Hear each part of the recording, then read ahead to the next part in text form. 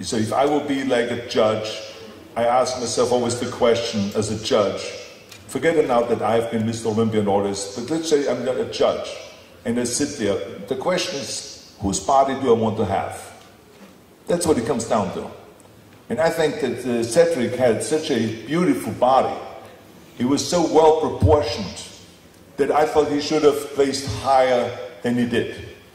And, uh, and unless, unless we, we change the judging procedure, and unless we do something about where they stop just using guys with the thickest neck and the biggest muscle, but not look as pleasing.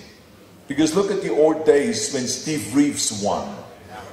When Steve Reeves won, and you saw him on the beach, you say to yourself, I would love to have this guy's body. Wow, look at how beautiful this man looks. But that's not what you can say about those guys the day they win those competitions. And so what I'm trying to tell the judges is that you got to go and consider look at everything.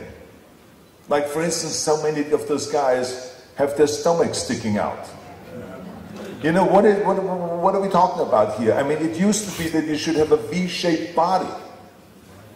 Now, I don't know, it's like kind of like a bottle shaped body or something like that. But it's not it's a kind of it's, it's, it's, a weird thing that is happening on stage that no one can pull in their stomach anymore for a long period of time and stand on stage with a vacuum and pulled in stomach, shoulders out, and to look athletic.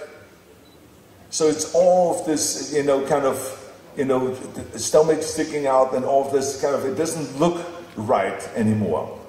And so we have to just make sure that we are rewarding the right guys because if you reward the right guys, then everyone will start training to have a beautiful body again rather than a powerful uh, powerlifting body.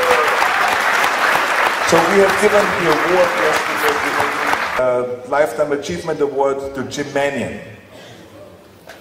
But that does not that does not mean that we cannot disagree with him because he is in charge of judging. He is in charge of picking the judges. And you have to talk to him, and your magazines, all, and also on the internet and every other means there is, call out on him and call out on those judges. Because that's how you create change, is by calling out and getting involved and saying, this is unacceptable, the way bodybuilding is going. We don't want to see the biggest guy up there. We want to see the most beautiful man, the most, uh, most athletic man up there on stage.